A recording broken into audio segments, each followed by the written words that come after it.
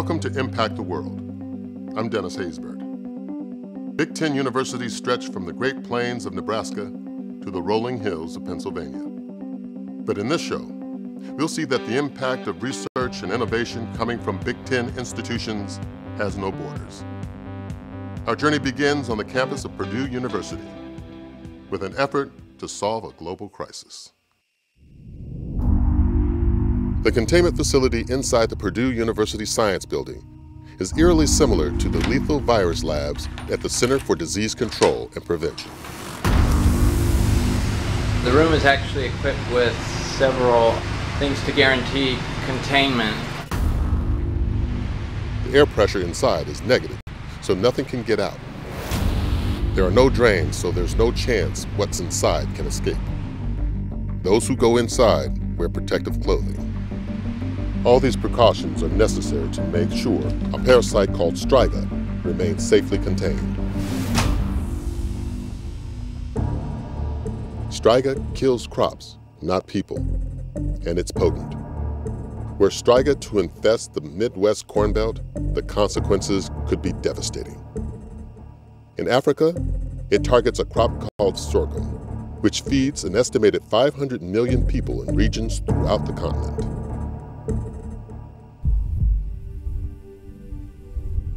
In the 1960s, Dr. Gebisa Ejeta was raised in Ethiopia, over 7,500 miles away from the research team he leads and the containment facility he now oversees in West Lafayette.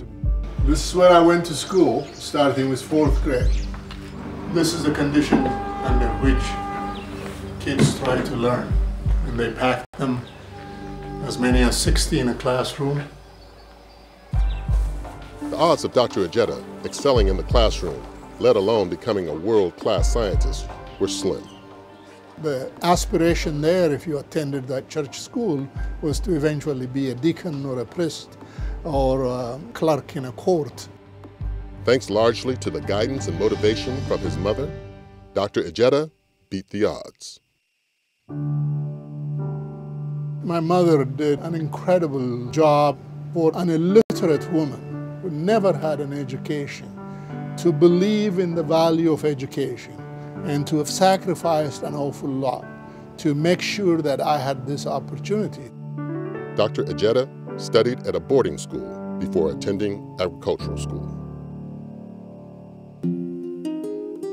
He then crossed the Atlantic to attend Purdue, where he researched the sustainability of sorghum.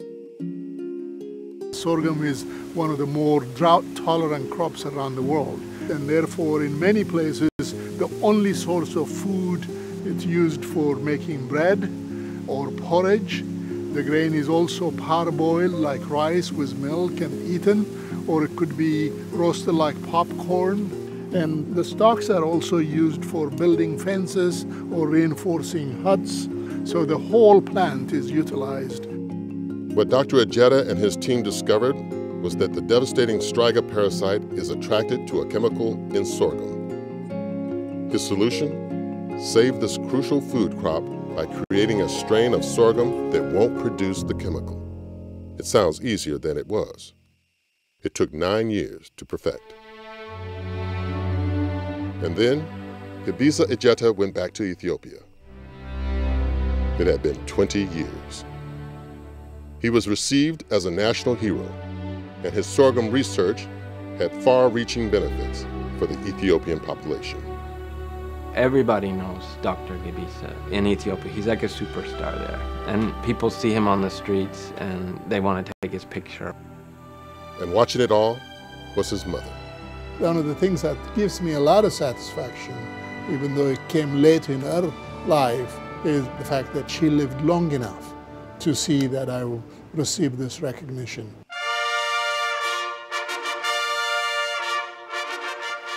Dr. Ejeta's Striga breakthrough earned him the 2009 World Food Prize, viewed to be an agricultural equivalent of the Nobel Prize.